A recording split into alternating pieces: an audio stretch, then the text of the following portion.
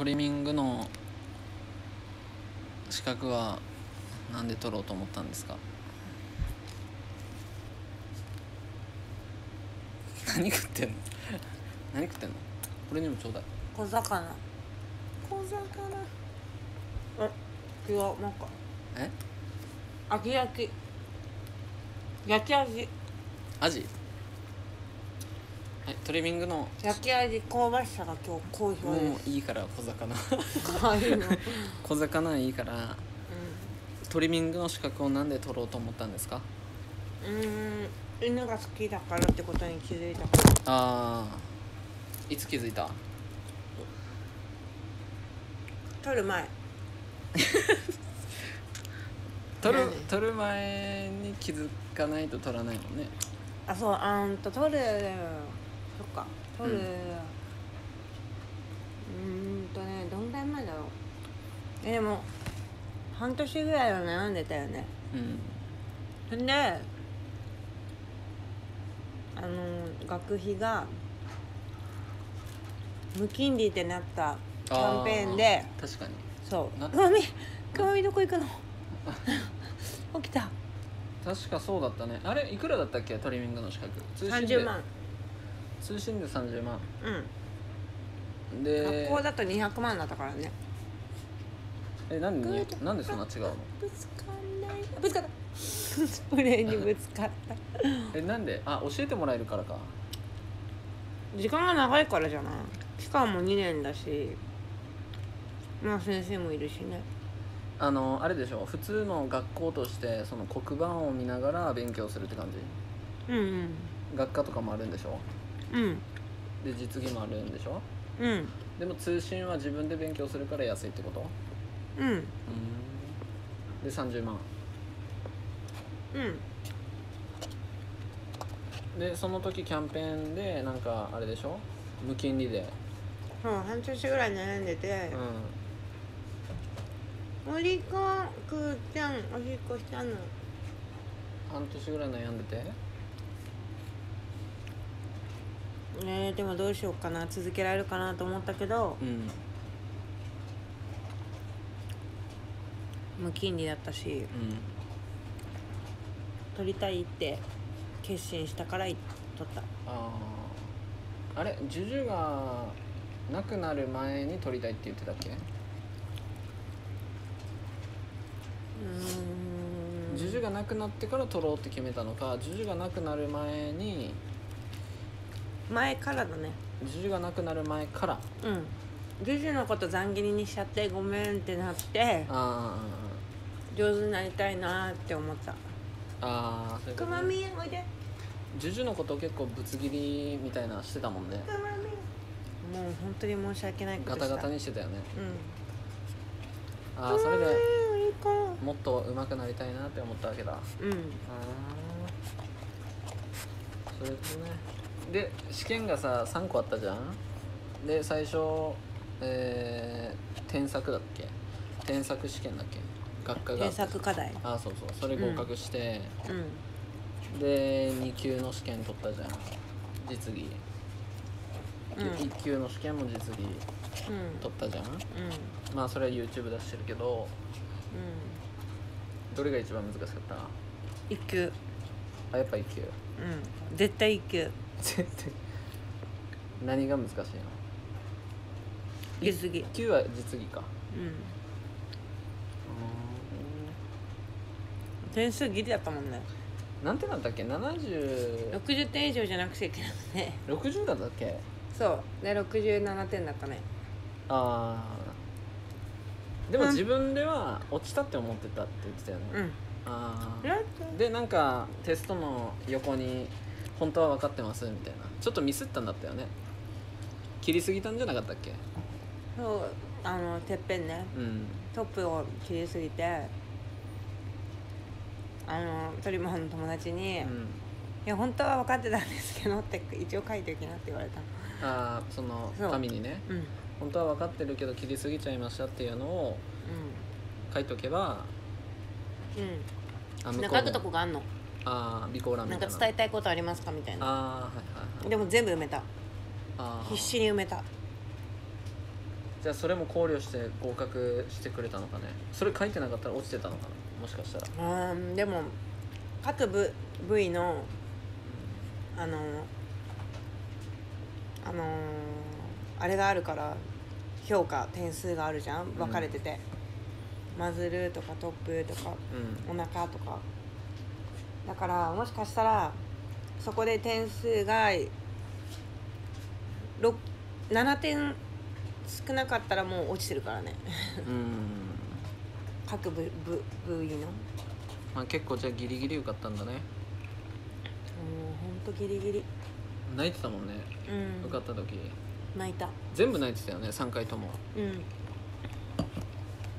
嬉しかった。うもう2級でやめようかなと思ったけどえなんで1級までお金払ってんのにそう。2級でやめようと思ったの？うん。なんで？2級二級は普通の人が切れるレベルで、レベルっていうかまあ知識で、うん。1級は回回転するためのものだからあ開業ね？開業するものそう。何？え？今の絶対聞こえてないでしょ。こ 今左向いたんだからよいしょ。うんでまあ今開業。開業するために頑張ってるけどコロナウイルスだもんね。もう最悪だよね。なんかもうトリマー塾みたいのも、なんか行ってちょっとお金払ってでもちょっとこう教えてもらおうかなってもう言うのも頭に入れてたけど、うん。全くもうコロナだわ。ね。コロナでだってそこも行けないわけじゃん教室も。うんみちゃん。うんまあでも頑張ってほしいですね。いや今んとこまだ。なんでか俺が頑張ってほしいですねって言うとね嫌ってる。う ん今んとこまだ。撮りたい気持ちはある。でも今日。で何を撮りたいの？あ撮りたいじゃないや開業うん。したい気持あお店をちはあるけど開きたいそう気持ちがあるけど。そうでも今うん。日やっぱお店の鳥マンさんと喋ってたら、9年目の人はうん。全くやりたくないって言ってた。でもそれその人は9年やってるからどうなんだろうね。え？でも9年超いい職場にいるんだよ今の床のお店。まあなんか聞いてる限りではいいおめっ店だよね。ちゃいいお店にいて。そうでももうか飼ってる自分の犬のことをもうこっちに来ないでって思うようになっちゃったなって。何？こっちに来ないだからしあごめんごめんごめん仕事して帰るじゃん。うん。そしたらもう1日切ってるわけよ。1日犬の相手して1日やってそれを社員でややりやってたから、そしたらもうその飼ってる4匹の犬のことを可愛いって思えなくなっちゃって。自分が飼ってる4匹を？そう。あ犬を毎日一日中切ってるから。犬と関わりたくないからってことね関わりたくなくなっちゃってなんかこうう寄ってくるんだけどもう疲れてるから来ないでっていうふうになんか可愛いって思えなくなっちゃったなって自分の犬を。それであバイトに戻ったんだって、あー申し訳ないもんね。自分の犬にね。そう。でごめんねってなってちょっとなんかちょっと離れようかなと思って、やっぱり好きなことは趣味にしとけばいいやっていう感覚になったって言って。ああまあまあわかるよ。でもしかもさ、うん。友達もそうやって言ってんじゃんああみんなそうやって言ってんじゃん？そうだから怖い。自分がどうなるかね。うん、まあでも別にそしたら開業しなければいいしね。うん。まあまあ俺は開業するってつもりではいるけどね。うん。いるよ。うん。まあ大丈夫でしょ。そこは。あのー好きなんだしうん。まあでも確かにそのあもう次から次へと犬が来てもあこっちも切らなきゃこっちも切らなきゃはいこっちもシャンプーしなきゃってなったらそれはそれでどの職業もその職業なりのストレスはあるわけじゃん。まあそうだね。うん。みんなそうやって言うからなんかちょっと怖いよね。うん。犬が嫌いにならないかみたいな？うん。ならないでしょそれは。うん。まあ子供より可愛いからねえ？自分の子供より、うん。まあね、子供も可愛い時はあるけど。うん、もうあの犬はあれだからね。もう存在してるだけでもう素晴らしいじゃない。うんですか？うん。まあ言葉が出せないからね。うん、何その漫画？これ見ないでこれは。え？これは見ないで。なんで？これシェアハウスの漫画だから、エロいやつ？エロくないよ全然。エロくない？ただ今キスシーンがあっただけ。うわ汚い。じゃあそのうんトリミングサロンなり保護犬カフェなりそういうカフェみたいなのが作れればいいなとは思ってるわけだね今。うん思ってるよ。ういやなんかもう抜きあの居抜き？もう私あと23年でいいってオーナーが言ってるから、ん、うんうん、ちょっと狙ってるけど。あそこのお店をね、うん。もらえたらいいなってことね、うん。いやもらってくれたら俺は作らなくていいからも何を作るの？ういやその借りてさ全部こう作らなくていいじゃん。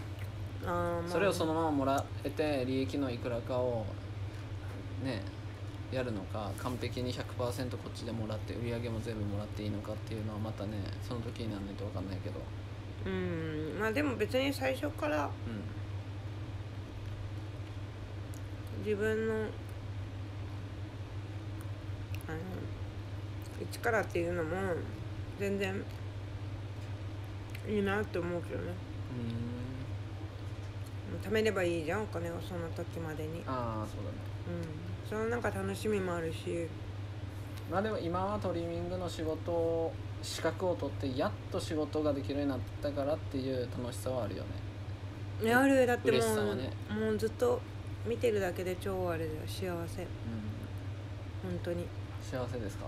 でも幸せ。今日とかももう本当に可愛かった。うん。そこはあれちゃんと換気してんの？3密は。うん。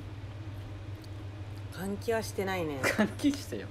換気し換気は開けっぱとかはしてないっていうかないね。かか窓がね